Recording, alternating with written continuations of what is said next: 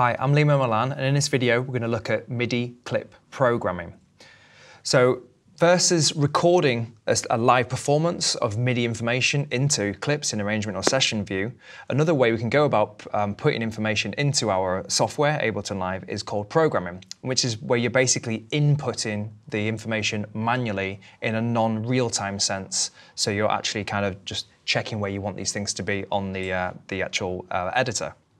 So I'm going to start with a drum beat. I've got a 909 loaded in already. I'm going to do this in session view because I want to just vibe and, and, loop around the idea that I'm going to work on. So in order to get started, first I need to generate an empty MIDI clip. So if I just double click within the actual uh, the clip slot in session view, it generates an empty MIDI clip, which if I press the play button on the clip, launches that clip and then it will sequence and loop around the, uh, the area of focus. Now, it's a one bar idea at this stage. If we want to change that, we can go into the length section of the MIDI clip editor and change that to two bars and four bars and so on. However, I'm going to do like a four to the floor bass drum bass drum beat and add some additional layers that will vary over one, two, three or four bars. So the beginning or the backbone of the entire beat will only be one bar. It will be a kick that just repeats the same every bar. So rather than thinking I'm going to create four bars at the end of what I'm doing. I'm going to focus on one bar first, and then as I want to add different changes from one bar to the next, then expand and, and actually duplicate that loop to be a bit, bit longer. So, um, so let's set that back to one bar there. Um, and then programming, basically we have two key ways of inputting what we're doing. We have the actual, the pointer tool, where if we double click in an empty uh, space on the grid, it enters a note for us. Or the other option is, if I just press undo, so Command and Z, is if we press Control or right click to bring up the, um, the functions menu, if I go to draw mode, which as you see to the right of it has a B next to it, so the B key can do this as well. We toggle between a pencil mode and then the actual the, the pointer mode where we can double click and enter these things. So with the pencil mode, I'm just going to draw in a kick on every beat of this bar. And if we press play, we'll hear that. And then I'm going to think about adding some extra elements to this. So I'm going to accent the second and the fourth beat with a clap. Now, if I want to hear these notes as I'm inputting them, there is actually a preview uh, button here, the MIDI editor preview button. And as I enter the sound, I'll hear the sound. And interestingly, when I move the sound around, so if I go press the B key to go back to the pointer, it auditions the sound that is currently being triggered within the actual MIDI clip.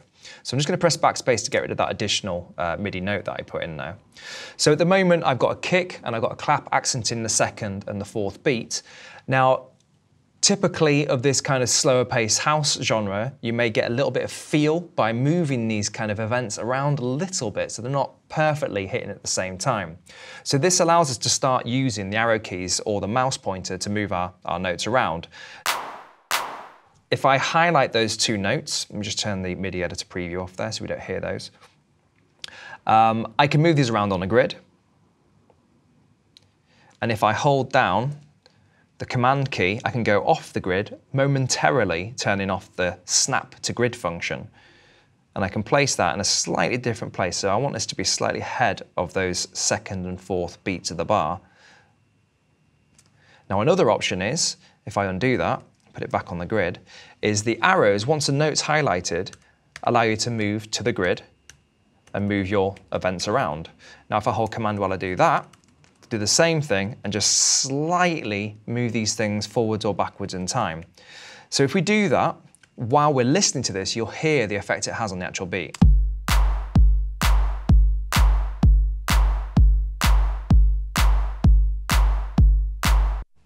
So a slight bit of timing difference and just gives you a little bit of a, a feel to the actual uh, the drum pattern. Now I want a hi-hat, so I'm just going to use the audition part of the piano roll here. Just turn on your MIDI editor preview there. This is especially useful if you don't have a MIDI controller to preview the sounds. You can just preview without entering notes for them just by clicking around the actual keys. So I want the hi-hat. I'm going to zoom in here, so I'm just going to use the the drag down zoom function here. And let's go into that hi-hat. we use a different function to do this. So I have my first offbeat hi-hat entered there. It's, it's halfway between the measure of, of each beat.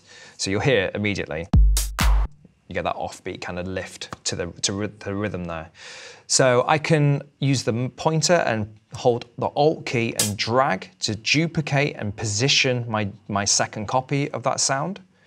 Uh, or if I want to stay away from using the mouse and I just want to use the actual uh, key commands, I can use the Command D function, which is duplicate. So if I do Command and D, that note is generated to the side of the original note that I've done a duplicate of. And as we've learned already, I can use the arrow keys to maneuver these parts around. So if I press the spacebar, that's the backbone of a main kind of house beat happening there. So if we um, want to create some alternate sections to our song that we're going to generate, we might want to duplicate, so the same kind of functionality, duplicate the MIDI clip itself rather than the content within the MIDI clip. So for clarity's sake, I'll use the menu, but we can use the Command and D function again. I'm going to control click there and go to duplicate. And that will make a copy of that MIDI clip and place it underneath. So either we can modify the one that's playing right now, or we might name that. So if we control click and do rename, let's call this our original beat, and press play on the, the new copy, and call this our new beat. So now I have two different, potentially different versions of my drum beat to work with. So I'm going to do a really simple trick. I'm just going to change my closed hi-hat to be an open hi-hat. So in this case, we can use the arrows again. Um, but first we need to highlight all those uh, hi-hats so we can move them to the, the, the correct sound we want to trigger for the second copy. So if I control and drag, I can highlight just those notes, or usefully, if I actually click the piano note, that also highlights everything in that particular row. And now because they're highlighted, the key commands or the arrows will allow me to move to my open hi-hat. So now I have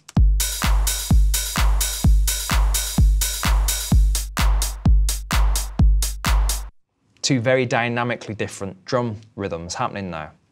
So um, the other thing that I wanted to do using the same kind of functionality just to embed that is to get an acid type of sound. So let's go to our live browser and go to acid and see what pops up in our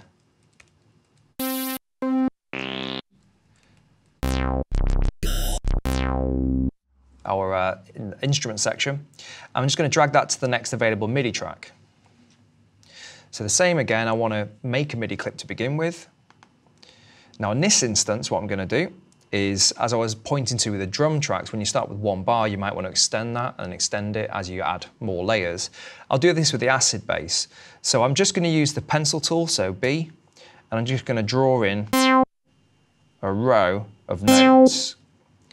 Now in this case, I want my acid uh, bass line to actually last longer than one bar, because otherwise it will be quite repetitive if it just does its melodic pattern and repeats so quickly.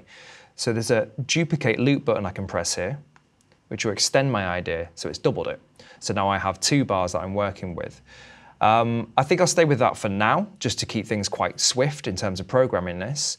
Um, I'm going to go out of my pencil tool, and let's highlight all those notes, and we're going to move them up and down. So we could do this with the drums, although it would move between sounds. This time, because I'm working with an instrument rather than a drum uh, rack, which is a drum machine, um, I can actually move the pitch of the same sound up and down. So as I move up and down now, that is moving at a semitone at a time, so one interval. And then if I hold the shift key, it will move an octave at a time. So the, the same as moving between this space on the keyboard and this space on the keyboard. The main reason why I'm doing that is to make sure that the notes are playing this instrument in the correct, what we call register, of our musical pitch. There's no point playing a bass too high because it has no bass to shake the room at that point. So if I press play on that clip now, and just adjust the volume just to get things a little bit more balanced. Uh, the next thing we're going to do is use our key commands to be able to move the notes up and down to create a bit of a melodic pattern. So I'll just uh, drag the actual ruler section of our piano roll here just so I can see what's going on a little bit better. And then what we can do is if I hold Alt, once I've highlighted one note, I can move between all the other notes. And while this is running, I'm just going to start modifying. I don't know which note yet. I'm going to listen and audition as I go and just start editing what's going on here.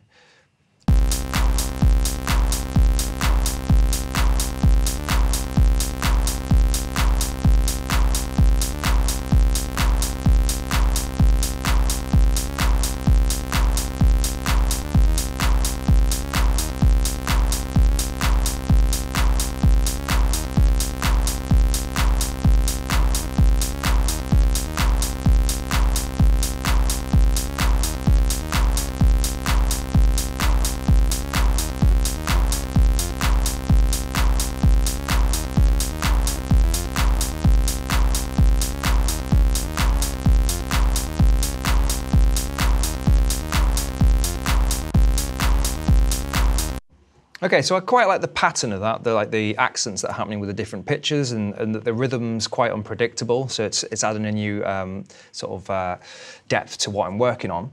Um, but it doesn't quite sound right for the sound that's there right now. So the last thing I'm going to do is just highlight all those notes. So click into the actual MIDI editor area, press Command and A.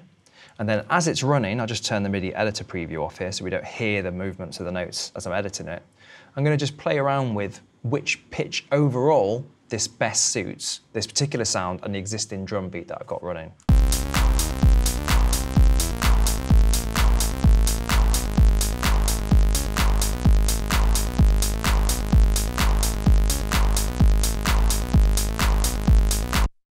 Okay, so that's working for now. I've got a, a running pattern running alongside a drum beat. So we've done MIDI programming. So we haven't used a MIDI controller and played things in the more human sense of playing an instrument. We've relied solely on the fact that we can either use the actual MIDI editor for drum racks and program what drum sounds we want and when we want them to be within our MIDI clip. And then we've also looked at various different ways of navigating the editing function of an existing idea, either using the mouse, the draw mode tool, the pointer, and then the arrow keys to be able to move things around as we listen to these things as they loop.